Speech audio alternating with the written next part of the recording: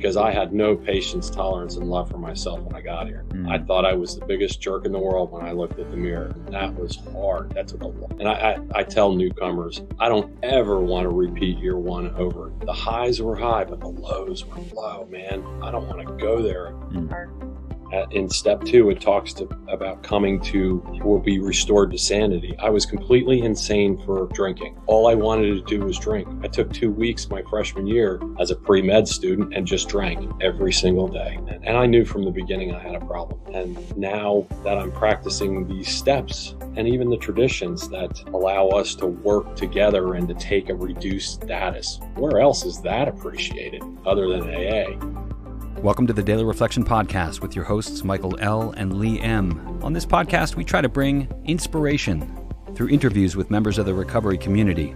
We are not aligned with any 12 step or recovery program, but you will hear them mentioned throughout the course of an interview. Today on the show, Jim D. from Lake George, New York, sharing on the concept of a unique stability. I hope you enjoy this episode. Good morning, Lee. How are you? I'm doing great this morning. How are you doing, Mike? Oh, never better. It's great to see you again. Hey, what's on tap for today? Well, today is February 27th, and we have with us Jim D from Lake George, New York. And I'm very excited to hear him share about a unique stability. Well, Jim, welcome to the podcast. It's great to have you on the show. Thank you, Mike. Thank you, Lee. We get started in the same way every day. We ask the guest to read the daily reflection for us. Do you have it handy? Yes, I do. February 27th, a unique stability. Where does AA get its direction? These practical folk then read Tradition 2 and learn that the sole authority in AA is a loving God as he may express himself in the group conscience. The elder statesman is the one who sees the wisdom of the group's decision, who holds no resentment over his reduced status, whose judgment, fortified by considerable experience, is sound, and who is willing to sit quietly on the sidelines, patiently awaiting development. 12 Steps and 12 Traditions, pages 132 and 135. Into the fabric of recovery from alcoholism are woven the 12 steps and 12 traditions. As my recovery progressed, I realized that the new mantle was tailor made for me. The elders of the group gently offered suggestions when change seemed impossible. Everyone's shared experiences became the substance for treasured friendships. I know that the fellowship is ready and equipped to aid each suffering alcoholic at all crossroads in life. In a world beset by many problems, I find this assurance a unique stability. I cherish the gift of sobriety. I offer God my gratitude for the strength I receive in a fellowship that truly exists for the good of all members. Wow. So, what do you think the author is talking about stability? Well, stability for me is being able to look at myself in the mirror. The decisions that I make as a result of practicing the principles of this program make it possible for me to look at myself in the mirror with love as opposed to complete and utter disdain, which it was before I got sober. Can you talk a little bit about what it was like before? What it was like before, it was, I thought that alcohol was the solution. It made me uh, a better conversationalist. I was the life of the party because I was the one who had a connection to get booze for the 15 to 17 year old crowd in high school. I was the man. But as I got older, it turned on me. When I went away to college and didn't have the responsibilities of being the oldest of four children, I went crazy. And that's when I discovered in step two, it talks to about coming to will be restored to sanity. I was completely insane for drinking. All I wanted to do was drink. I took two weeks my freshman year, didn't go to biology class or any other for that matter as a pre med student and just drank every single day. And, I knew from the beginning I had a problem. And now that I'm practicing these steps and even the traditions that allow us to work together and to take a reduced status, where else is that appreciated other than AA? Um, I, I can fit in with that because it works for me. We're all in this together. So, Jim, did you get sober at about college age, or how old were you I- when you got sober? Well, I was 25 years old, but I was still acting like a 12 year old, which is when I started drinking and drugging. And I was a blackout dr- drinker from the beginning. My college graduated friends, one of them actually said to me before I got sober, We will leave you behind. And I'm grateful that he said that. I remembered it. And I'm glad that he said that to me because I was letting life go in the wrong direction. And how did you find your way into the rooms at the age of 25? My younger brother, John, who had a problem with alcohol and some dry goods, uh, that accelerated his bottom, uh, went into rehab. I'm trying to think how many years before me, probably five. And my brother and I went to the outpatient family treatment. Uh, he was five years younger than me. And then on our way home, we would imbibe and carry on like uh, drunken idiots. And we thought it was funny, but a seed was planted so that when I hit my bottom at age 25, when I thought getting on a bus from New York City to go to Tallahassee, Florida to be a bum would be a good idea. Uh, that was the absolute insanity of alcoholism for me because I was giving up my wife, my job, my good family that supported me so that I could drink. And it wasn't working in the beginning. So this daily reflection is talking about traditions, tradition two specifically. And before we get to the traditions, uh, how long did it take you to get through the steps? I think by the end of the first year, I had completed the 12 steps. You know, I'm a little foggy on the actual timing, but I went through an intensive outpatient program.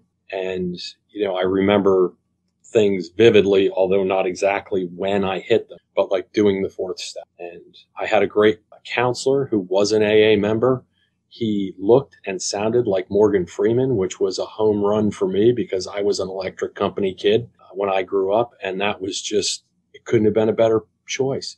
Um, so you know, I got through those steps in that first year and got involved in coffee commitments and service and started to learn about the traditions as well. Yeah.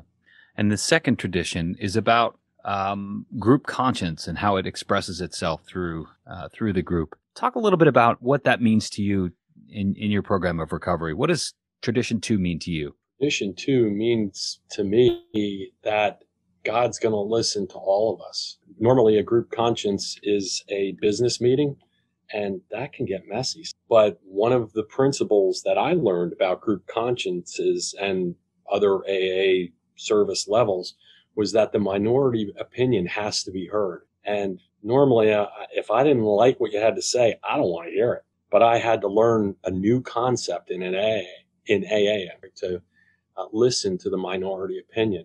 And sometimes it didn't always sway me, but one of the problems I've had in my life is that I felt like I wasn't heard. I did a lot. I was I was appreciated, but I wasn't really heard. Just do what I ask you to do. I don't want don't talk to me. Don't tell me. You know, just do it. That this was good to be to have a place where I was heard and we all work on this together but tell me a little bit about um, the group structure where you're at and and what it means to get in service for you. Well, the group that I was part of back in New Jersey, where I was part of the group conscience, it's the most experience I had. It was great. We worked together to make sure everyone had a voice. Every year they do the group inventory or they ask questions at one of the service levels. And we weren't going to limit the entire time of the meeting, but we did limit people to how much time they had to share to two minutes. We all agreed on it and we all supported it, but it didn't have to stop at one round. We would go around and around until people were tired of talking or people were tired of listening and they were ready to vote. And that really helped me to work through that process. Service has always been important to me because my sponsor got me into the coffee commitment back in 1989 when I got sober. There were ashtrays and I wasn't a smoker. And he was like, I want you to clean the ashtrays because you are not going to get any benefit from that. You're just going to do it as a service for your fellow AA members and you will benefit in the end, but you're not getting an immediate benefit. And that was a great lesson. So, what do you tell the newcomer? I love to work with newcomers. I I remember walking into my first AA meeting confused, upset, nervous, and all I got from people when I walked in was a warm smile, a firm handshake, maybe a clap on the shoulder. I felt at home. And when I heard people share what they did, it was even better. But things were tough. You know, my wife and I were on the rocks, but still couldn't afford to not live together. We were sleeping on opposite sides of a full bed. You could probably fit three people between us at that time. It was rough. Uh, my dad was mad because I was not a good husband. I left my wife to go to Florida. Who does that? He never did that. You know, what's the matter with you, Jimmy? And, you know, work, of course, said, Oh, you admitted you're an alcoholic. Great. You got one shot you screw up, you're gone. And so I was on thin ice uh, with a lot of people, but not in AA. It was nice and warm, and I I jumped right in and appreciated. And I try to offer that to newcomers to help them. I back in the 80s, 89, there was some tough talk. You know, sit down, shut up, take the cotton out of your ears and stick it in your mouth.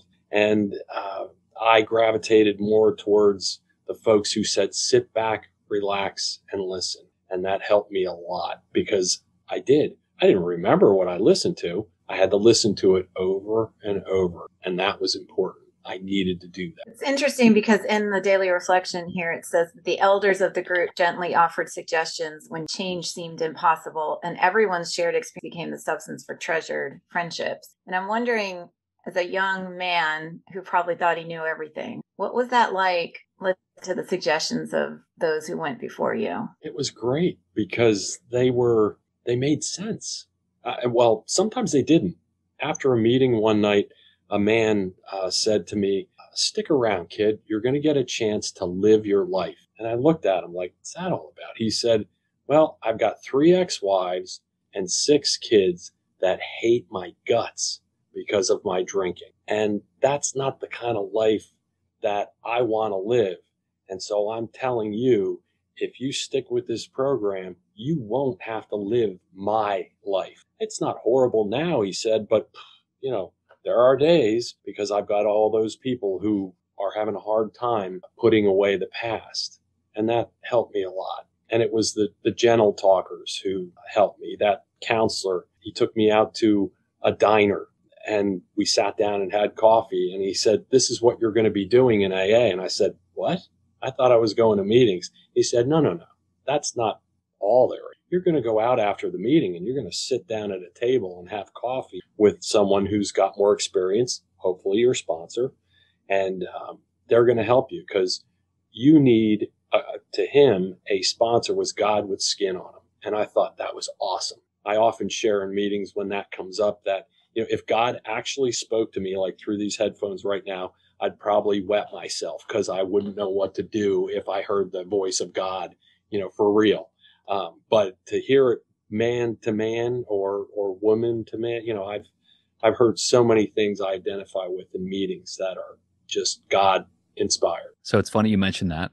That was on a recent daily reflection, and one of the concepts was that look, if if I'm in meetings and I hear the voice of God, then God must be speaking through me. Do you think God speaks through you as well? Absolutely. Especially when I'm not, I'm not thinking. My best example of that was a, a man who I admired his sobriety. He was coming up behind me. He had a lot of vigor and love for the program, but he hated the word God. And in a meeting, it was probably, I don't know, it was on the third step, I believe. And it was God, God, God, God. And the, he was the first one to raise his hand and share, and he was angry. I hate that word. I don't want to hear it. I don't like God. And I don't know where it came from, but the solution was maybe some literature that I said, George, the big book is a big book because paper, big paper, fat, thick, large pages was cheaper back in the 30s when the big book was made. And God is a three letter word that is less ink to put on the page. They're not going to say, as you understand him over and over and over again, that's too expensive. And that came, that was a gift from God because that I, I don't, I'm not that good. and it worked. He, he's never forgotten that. What do you think about? So we're talking about, you know, the concept of God showing up in in the group. In other words, the group is stronger than the individual. We're all just a part of the group. Um, how does this translate in, into your marriage and into your family life? today? Fortunately for me, my family of origin where I grew up, it was all about we're we're all in the same boat. It was teamwork. Four kids, two parents. When mom and dad came home with groceries, they beeped the horn and it was all hands on deck. We all get the food in. We ate sandwiches that we made from loaves of Italian bread, split them down the middle, put butter on them, put your meat and cheese and whatever you wanted, cut it up into five segments, and boom, in the freezer they go for the week.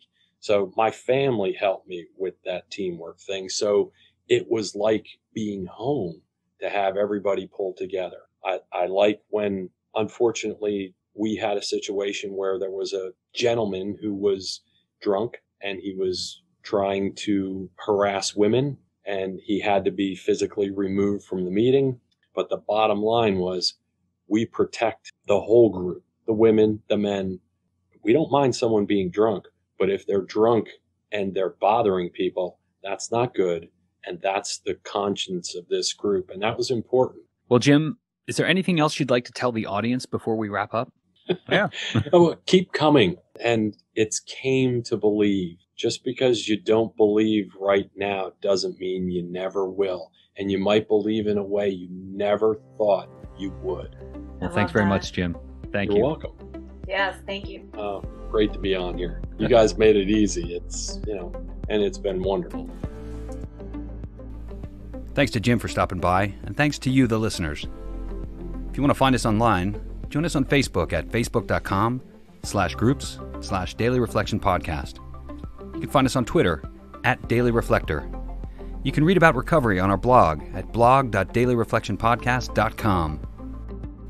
If you're listening to us on Apple Podcasts, we'd love if you were to give us a rating, give us a comment, give us some feedback. Let us know what you think of the podcast. We'd greatly appreciate it. Thanks, everyone. Have a great day.